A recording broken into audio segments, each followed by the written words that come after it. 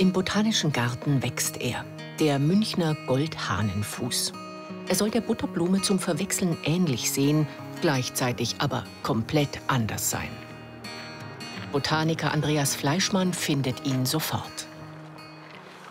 Hier haben wir den Münchner Goldhahnenfuß und im Vergleich zum scharfen Hahnenfuß, auch Butterblume genannt, der diese vollständig ausgebildeten Blüten hat, hat der Goldhahnenfuß häufig Blüten, bei denen die Blütenblätter dann so unvollständig ausgebildet sind. Das ist aber völlig normal, das ist also keine beschädigte Blüte, sondern die sehen bei diesem Goldhahnenfuß häufig so aus.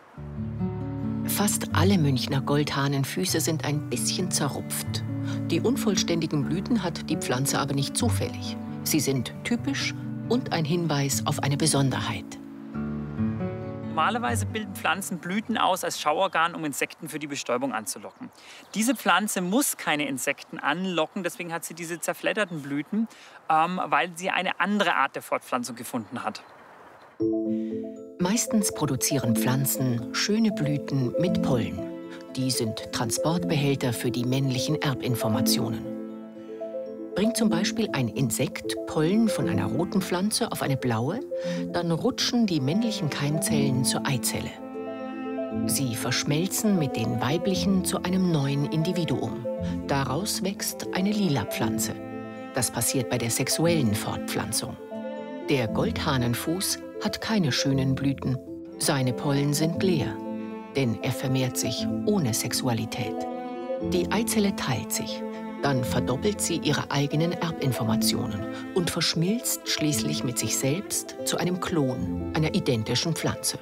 Der Same, der fällt dann einfach auf den Boden der Mutterpflanze quasi vor die Füße. Und so entstehen mit der Zeit diese großen Pulks von genetisch identischen Individuen, die alle gleich aussehen, die Klone der Mutterpflanze sind. Andere Pflanzen machen das auch. Löwenzahn zum Beispiel. Der Vorteil, wenn es in einem verregneten Frühjahr kalt ist und keine Insekten unterwegs sind, können sich die Blumen trotzdem fortpflanzen. Aber es gibt auch einen Nachteil. Man kann nicht auf verändernde Umweltbedingungen reagieren. Wenn es zum Beispiel trockener wird, wenn sich der Lebensraum hier ändert, können Pflanzen die Sexualität haben, die ihre Gene austauschen, sich besser an solche Umweltbedingungen anpassen. Pflanzen, die keine Sexualität haben, kommen entweder damit klar oder sie verschwinden eben wieder von diesen Standorten. Manchmal gibt es zufällige Mutationen.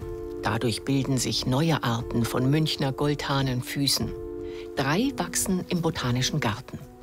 Als Laie kann man sie nicht auseinanderhalten. Die Blüten sind fast gleich zerfleddert und die Unterschiede in den Blättern zu winzig. Selbst Experten nehmen dann das Mikroskop zu Hilfe.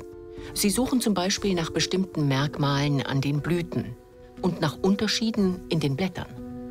Aber auch das ist extrem kompliziert. Denn jedes Blatt verändert sich pro Goldhahnenfußart ganz spezifisch im Laufe seines Lebens.